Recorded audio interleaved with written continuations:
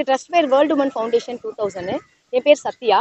நாங்கள் வந்து டெய்லியுமே நம்ம டிவி நியூஸை பார்க்கும்போது ஏதாவது ஒரு குழந்தைங்க ஏதாவது ஒரு சிக்கல் நடந்துகிட்டே இருக்குது அதை நம்ம டெய்லி நியூஸாகவே பார்த்துட்ருக்கோம் ஸோ அந்த மாதிரி இல்லாமல் எல்லா குழந்தையும் தன்னோட குழந்தையா நினைக்கணும். அது வாத்தியாரா இருக்கும் ஸ்கூல் டீச்சர் பி கரஸ்பாண்டன்ட்டு பக்கத்து வீட்டுக்காரவங்க யாராக இருந்தாலும் எந்த குழந்தையும் சரி தான் குழந்தையா நினைக்கணுன்ற விழிப்புணர்வுக்காக சேவ் த கேர்ள்ஸ் அப்படின்றத வரைஞ்சி நாங்கள் ரெக்கார்ட் பண்ணியிருக்கோம்.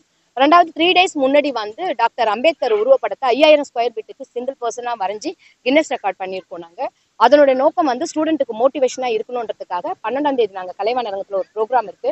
ஸ்போர்ட்ஸ்ல வின் பண்ணவங்க எல்லாருக்கும் பிரைஸ் கொடுக்கறதுக்காக இது பண்ணியிருக்கோம். இல்ல அதாவது நம்ம விழிப்புணர்வா இருக்கணும். எல்லா மனிதனும் மிருகம் கூட மத்த மிருகத்தை பார்த்து அந்த இறக்க குணம் இருக்கு. சோ மனுஷனுக்கு இல்ல. அப்படிலாம் இருக்கக்கூடாது. எல்லா குழந்தையும் தான் குழந்தையா இருக்கணும் நினைக்கணும்ன்ற உணர்வுக்காகவே நாங்க வரைஞ்சிருக்கோம்.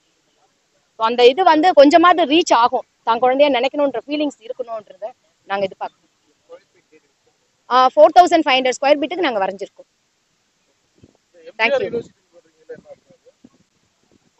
அவங்க இந்த ப்ரோக்ராமோடைய இதுவா இருக்காங்க சப்போர்ட்டிவாக இருக்காங்க. ஆமா சப்போர்ட்டிவாக நெக்ஸ்ட் பன்னெண்டாம் தேதி நடக்கிற ப்ரோக்ராம்காக தான் அந்த ஒரு இது.